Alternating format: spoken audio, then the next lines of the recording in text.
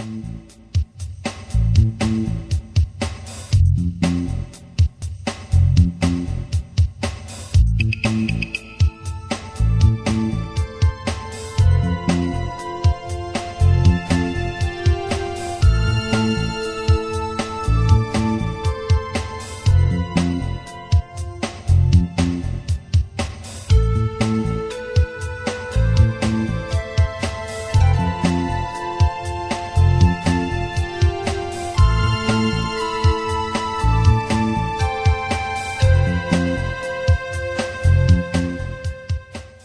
triangles, and a chess played by three players on a hexagon based board.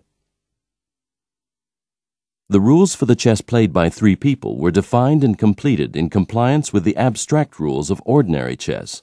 Soon, this new game was ready, and it was called Tri-Chess. The very first Tri-Chess game was played in June 1993. Tri-Chess derives its origin from the original chess, or can be said to have sprung up as a collateral branch in the development of chess.